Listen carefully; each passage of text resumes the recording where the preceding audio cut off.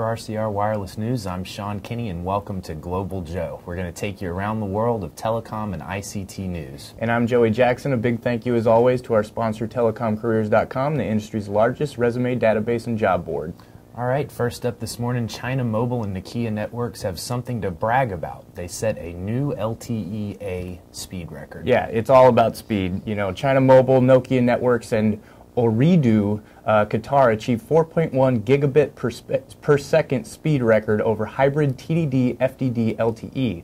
The companies achieved the feat by aggregating 10 carriers of both TDD and FDD spectrum. Uplink speeds exceeded 300 megabytes per second. This broke the previous record set in June by Nokia and SK Telecom. Yeah, that's a that's a big deal. That's a really high speed and carrier aggregation. We've been talking about that a mm-hmm. little around the newsroom. That's going to be a big deal. Yep. Next up, Korea's SK Telecom also broke some new ground by completing the first open source M2M IoT platform. M2M is the largest standardization body for machine to machine communication.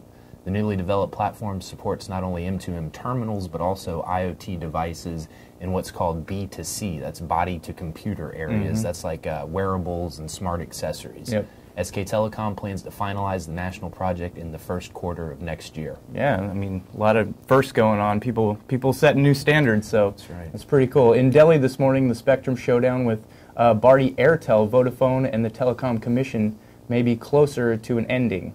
The Telecom Commission is likely to take a call today on the carrier's request to extend permits to use the expired spectrum. The spectrum permits expired on November 29th, but both companies have continued to use to avoid uh, service disruption to around 10 million customers. That's a lot of customers. Yeah, basically they, they ran out of their, their license before it could be renewed by the regulatory body. So one of their, uh, you know, they're obviously not a competitor because they're helping them out by letting them use expired spectrum. But yeah. we'll see how it all shakes out. Spectrum licensure, that's a big deal in America and around the world. Yep.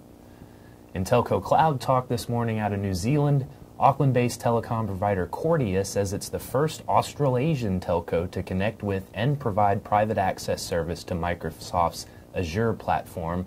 They're doing that using ExpressRoute. Kordia CTO Aaron Olphert says ExpressRoute will deliver faster speeds and higher security.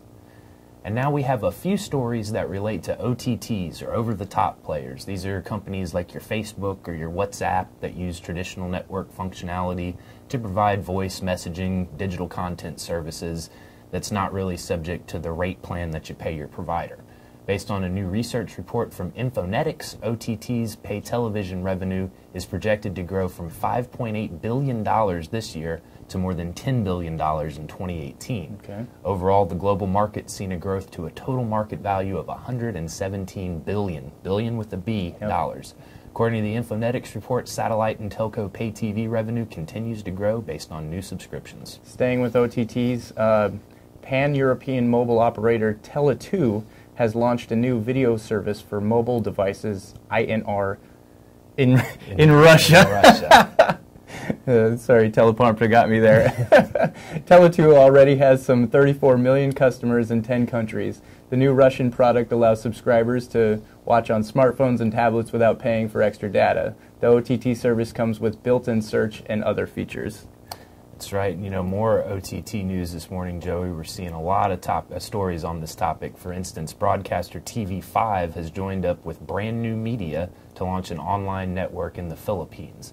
The new production project set to launch in February 2015, and the network will carry original content from the Philippines as well as foreign content. Hmm. Network will be called For Me and will be available on any internet connected device without a subscription fee we're sort of delving in the metaphysical here, uh, talking about online television on our online television shows. As I can attest, it's the wave of the future, that digital was, content. That was deep, man. hey.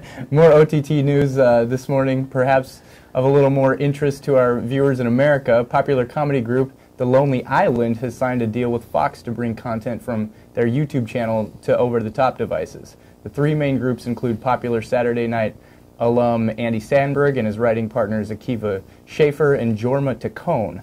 The new OTT product is called Party Over Here, and an in, in a tale run of, of three new shows will be available through services like Hulu and Roku. That was a Lonely Island uh, piece from Saturday Night Live. Yeah. So lots more stuff like that to look forward to. Yeah, this is I'm on a boat. Yeah. among other classics. You know, there's uh, we we tried to get a, a video clip to play for y'all that wasn't just littered with curse words, and that was impossible. They like to we curse. They out. like to curse. So you That's know. right.